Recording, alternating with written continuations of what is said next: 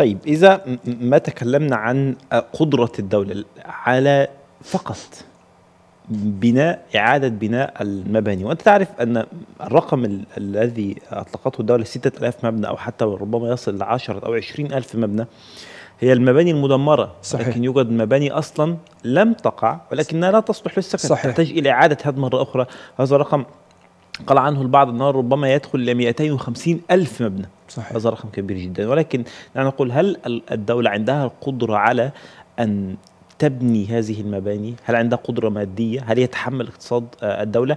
أيضا هل يتحمل اقتصاد الدولة؟ فكرة رعاية أكثر من 13 مليون متضرر لعام بالكامل إعطائهم رواتب شهرية آه، آه، يعني كما قال ال- محاولة الاتفاق مع بعض الفنادق. هل تستطيع الدولة التركية على الأقل الآن طيب. تحمل كل هذه الأعباء طيب نأتي للنقطة الأخيرة وهي موضوع ال- السكان المناطق المنكوبة 13 مليون. حقيقة ليس بالضرورة أن أن تكون هذه المدن مدن مهجورة بمعنى المتوقع أن كحد أقصى نصف أو أقل من النصف يكون متضرر بشكل مباشر من هذه هذا هذا الزلزال.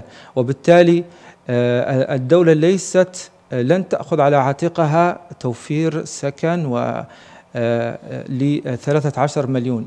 الأرقام ستكون أقل من ذلك بكثير آه، والعودة ستكون تدريجيا. أتوقع خلال أسبوع أو أسبوعين تبدأ الحياة تعود تدريجيا إلى هذه المناطق وبالتالي آه، سوف يكون عدد النازحين آه، ربما آه، آه، مئات الآلاف ربما مليون أو اثنين مليون. ولكن ليس بالضرورة أن نرى آه، آه، النزوح لكل سكان هذه آه، المدن. آه، بالعودة آه، الف- آه، أعذرني الفقرة الأولى كانت يعني آه، هل آه، الدولة تستطيع تحمل كل بناء كل هذه آه، حقيقة؟ أنا أرى أن آه، من ناحية الخبرات و آه، في مجال العقار ومجال الإنشاء تركيا لديها هذه الخبرات وبالتالي كمن ناحية عمالة ومن ناحية خبرات كشركات إنشاء تركيا قادرة على على القيام بعملية الإنشاء آه، آه، لديها مشاريعها داخل تركيا وخارج تركيا.